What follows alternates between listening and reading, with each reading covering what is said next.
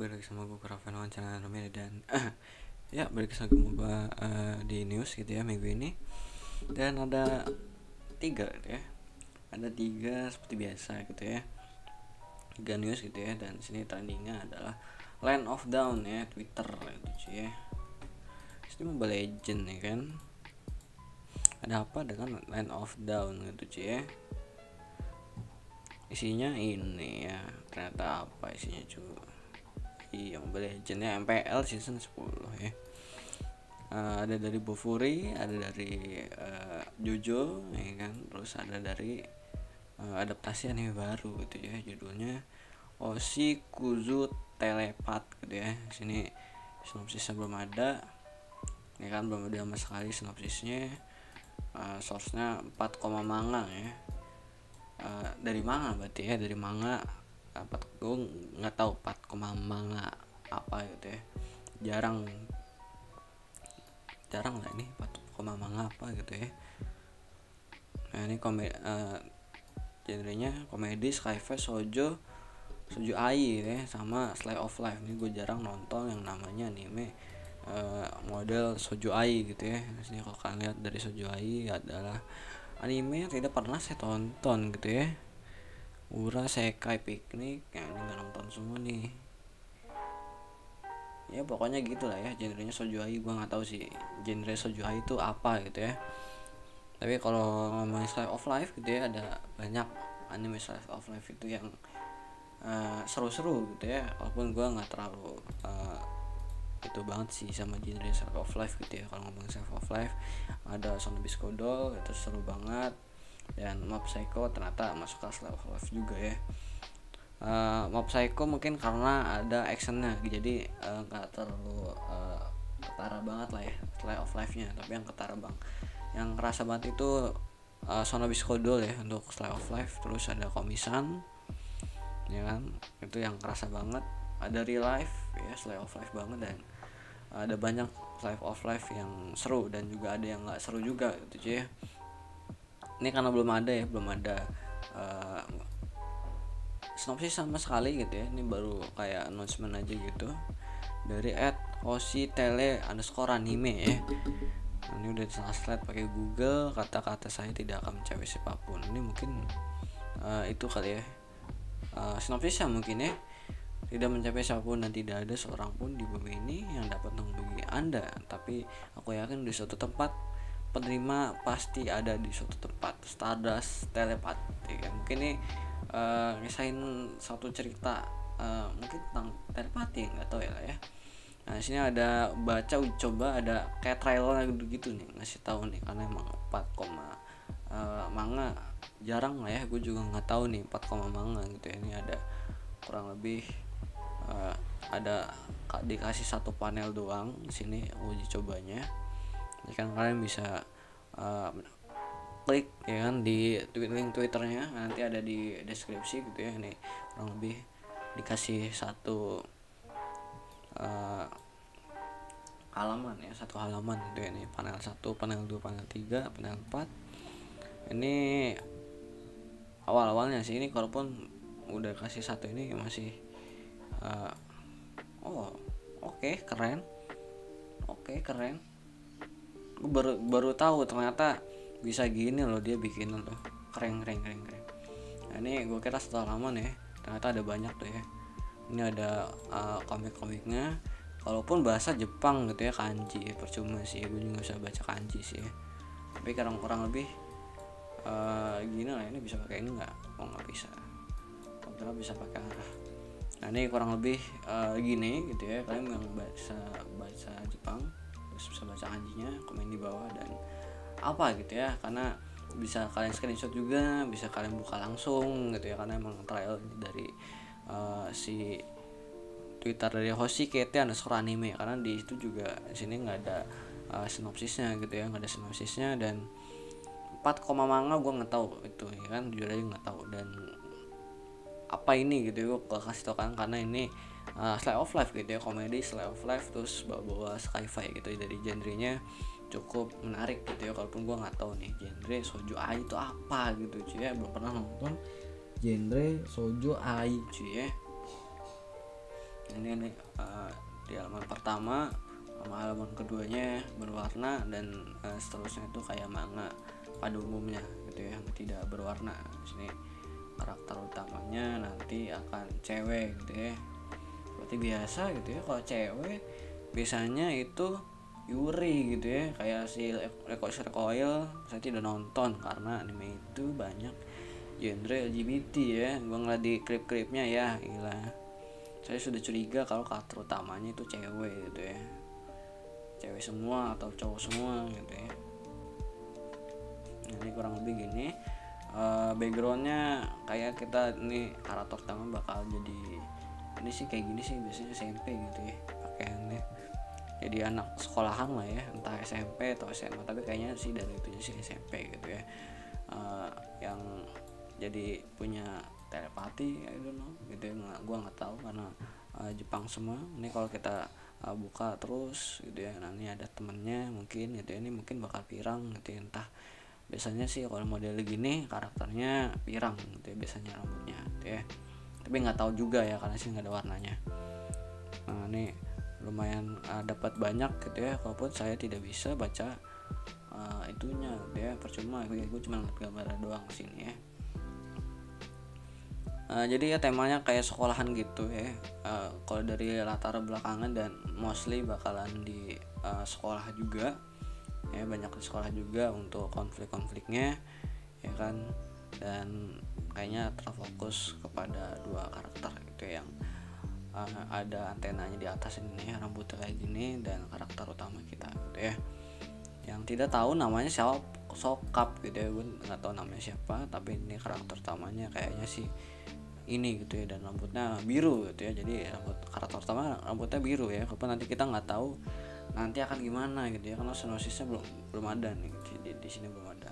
Nah kalau kita coba cari di Google gitu ya. Sinopsis ya kan biasanya jurnal otaku paling atas gitu cuy. Oh baca komik ya nih baca komik gitu ada nggak itunya? Uh, sinopsisnya gitu ya gue butuh sinopsisnya.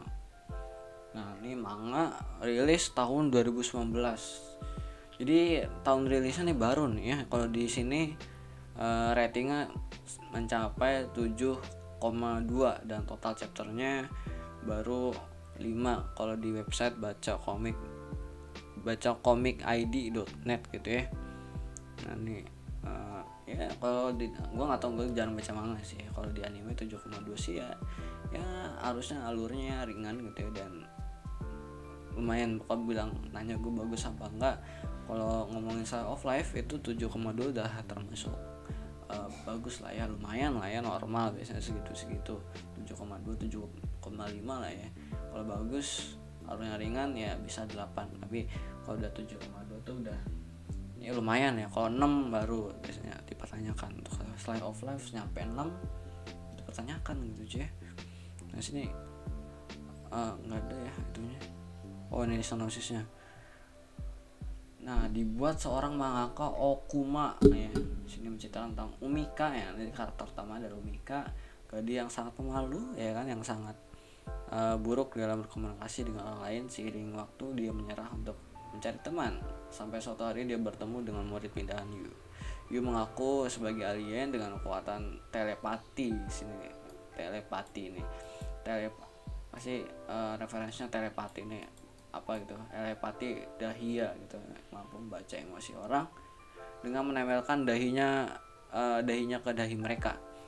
Ya dari penulis yang sedang naik daun Okuma Ras Rasuko kisah mempesona.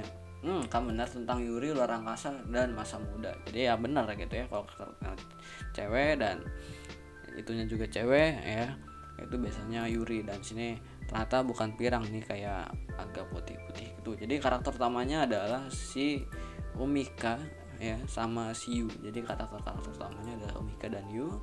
Dan si Yu juga uh, mengaku sebagai alien gitu ya. Dan harusnya bisa dimainin juga kenapa dia uh, bisa ke bumi apakah benar uh, dia alien segala macem ya dan respon dari umikanya itu sendiri gitu ya. Harusnya bisa dimainin di situ dan ya bakal keren. Keren nih tapi gue nggak nonton. Karena uh, gue nggak bakal nonton sih ini sih ya. Karena ya cewek semua ya begitu ya. Dan gue juga nggak terlalu uh, serak gitu ya. Nggak terlalu genre bukan genre gue lah ya untuk slice of life gitu cuy. Jadi itu dari Osi Kuzu Telepat gitu ya. Masih TBA nanti kalau ada uh, PV-nya dan uh, segala macam info baru gitu ya bakal di minggu depan gitu ya. Tapi biasanya sih nggak langsung seminggu gitu ya. Mungkin nanti dua minggu atau tiga minggu ya baru ada lagi biasanya untuk kabar berikutnya. Dan selanjutnya itu ada dari uh, ini tweetnya ya nanti gue taruh di bawah. Ada dari Jojo ya Jojo Stone Evolution. Kok Jojo Stone Evolution sih? Jojo Stone Ocean. Ya kan dia ngelanjutin episode 25 sampai 38 nya itu uh, di tanggal 1 Desember dan akan tayang di Netflix anime gitu ya. Anime khusus Netflix gitu ya. Kalau yang nanya di mana di Netflix doang cuy ya. Tidak ada di lain gitu ya. Karena apa? Karena Netflix uh, kurang viewnya ya mungkin gitu ya. Jadi uh, emang Jojo itu di Netflix ya. Dari yang season sebelumnya setahu gue di Netflix dan di Netflix juga ada Berserk. Terus apalagi tuh? Baki deh. Baki kalau nggak salah ingat itu dia di uh, Netflix juga untuk Baki gitu ya ya kan sampai 38 ya berarti 25 sampai kelar uh, itu bakal di Netflix dan akan lanjut ya di tanggal 1 Desember untuk penayangannya gitu ya. jadi emang ngomong soal Jojo di seriesnya itu juga udah uh, dari dulu tuh uh, bagus ya kalau menurut gue bagus dan ya nggak ganti-ganti ya setahu setahu gue sih dia nggak pernah ganti studio gitu. Jadi emang dari dulu tuh visualnya tuh emang gitu gitu ya. Nah ini untuk uh, nah bo boken ternyata ada di Museum Indonesia gitu ya. Dan di Netflix juga gitu ya.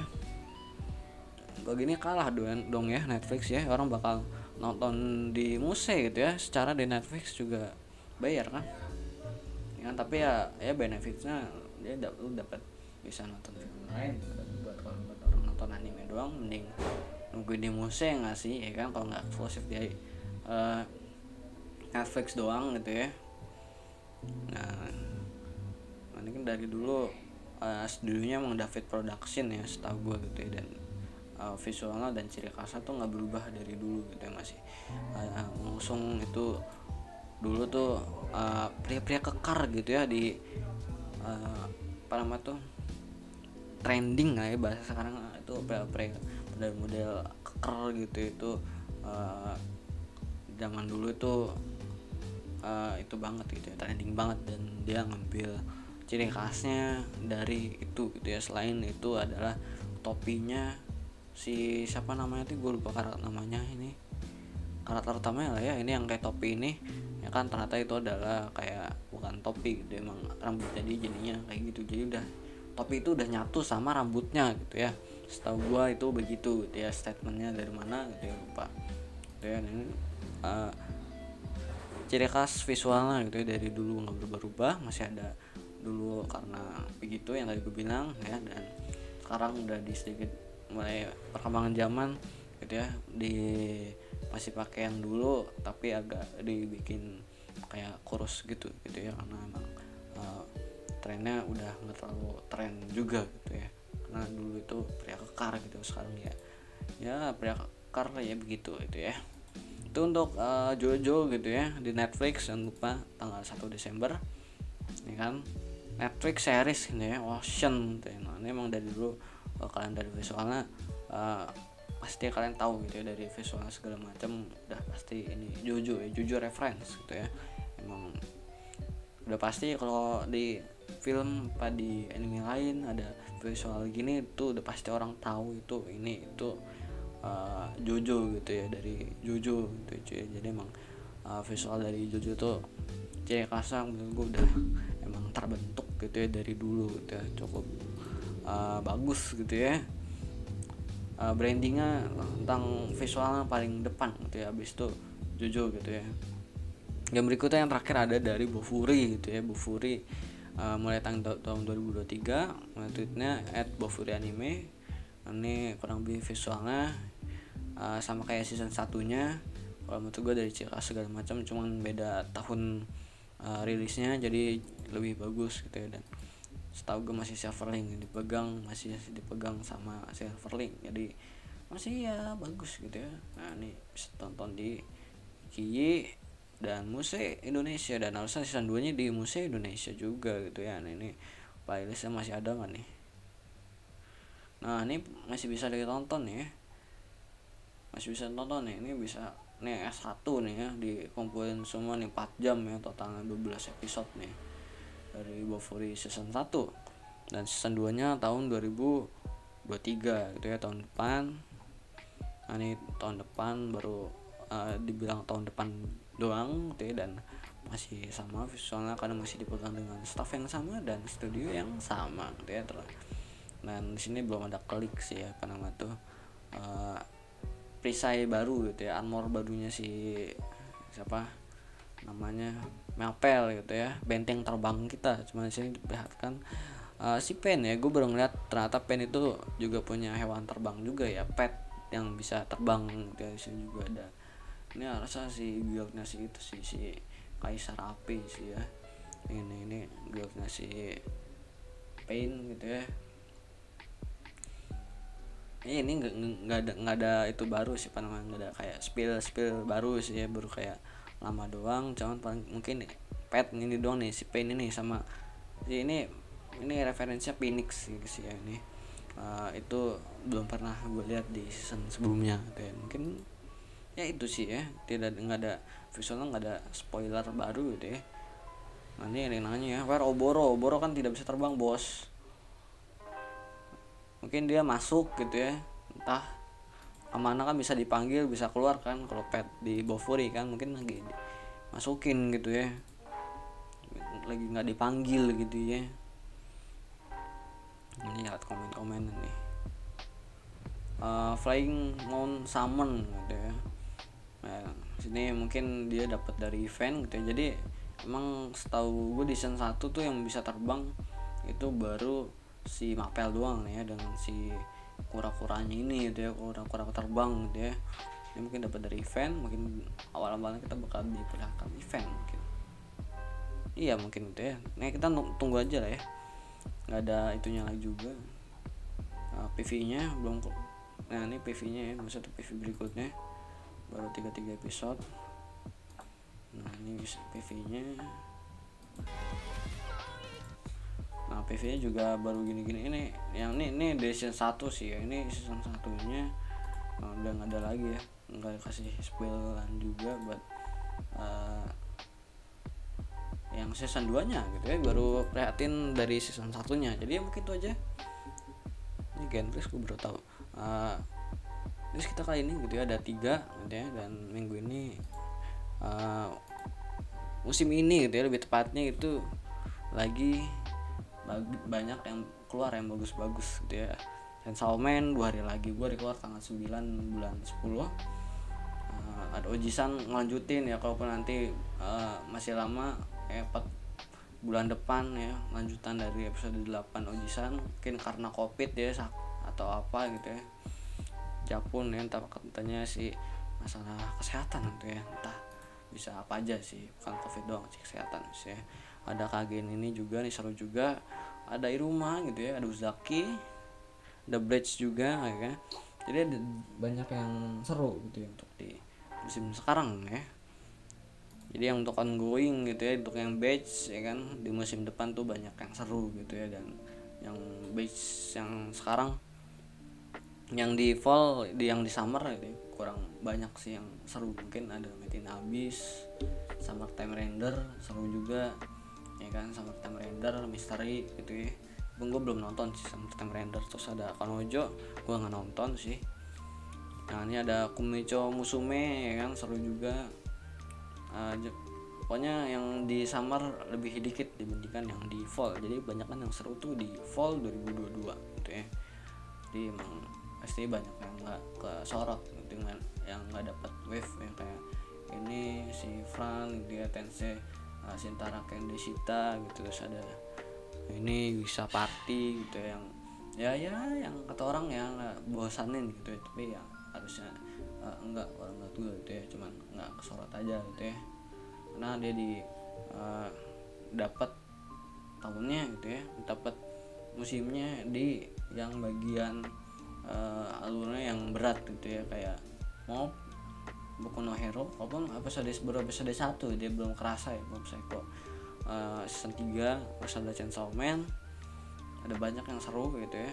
Nah, ada Shinobi no Itoki yang alurnya alurnya harusnya uh, berat-berat jadi ya nggak akan terasa aja gitu ya serunya gitu ya. Padahal nih alurnya tuh enteng-enteng dari si model-model uh, reinkarnasi kayak Yusa Party Yusa Party Benis pernah ada yang temanya serupa.